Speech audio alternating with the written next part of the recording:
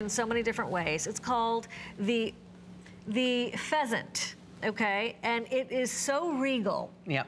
And so expensive looking, like it was handed down through your beautiful? royal lineage. It really is. the imperial, how perfect, a pheasant. Yeah, well, you know where this came from? This was um, a, a beautiful sculpture, a marble sculp- sculpture in the Vatican that I snapped a picture of because I, but it was, you know, huge and fabulous.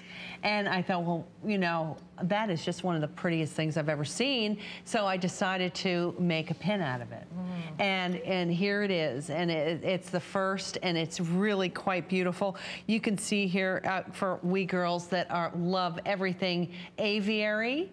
This is a wonderful pheasant that has colors of, um, of fern green, and of course that beautiful uh, bright red, that wonderful Siam ruby red, fuchsias, and of course um, uh, topaz. So a very very pretty combination of color, and we're going to see a, a, a still picture here. Look at that wonderful lotus flower at the base. I noticed. Isn't that pretty? I noticed. And it looks like you have a Greek key design Yep. also going along. Yes. The the pheasant is, uh, do, is there symbolism associated with this bird? I mean, You know, I'm sure there is. he's so regal. Aren't they? I, I Right? love that. They're just such beautiful, beautiful creatures. So proud. And they are. They are. And uh, you know, so pretty on a coat. There's something about this this wonderful half circle that is really quite beautiful that the pheasant is sitting on, standing on.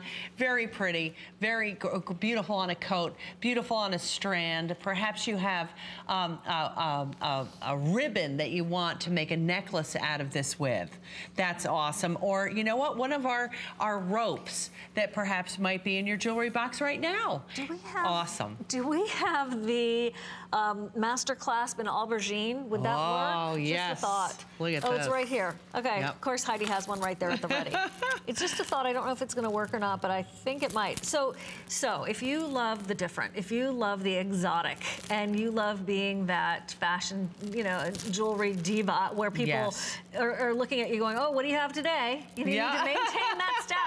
It's not easy. I understand. That's right. You know, this it- is the way to do it. It is. Okay, Yeah, well, the take a pin, a pin collector is someone that really, uh, you know, gets great joy of of celebrating their style in pin form. These are like little miniature artworks that um, that really tells the person, tell people about your personality, Mm-hmm. and uh, you know. We were so lucky to be in that book that Madeleine Albright Mm. wrote.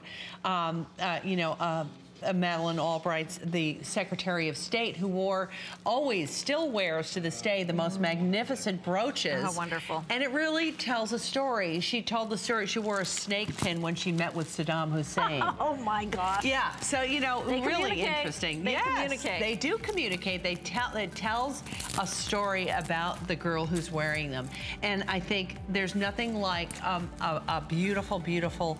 Uh, pheasant, a bird of peace, and a bird that is just so elegant and beautiful to tell somebody who's meeting you for the first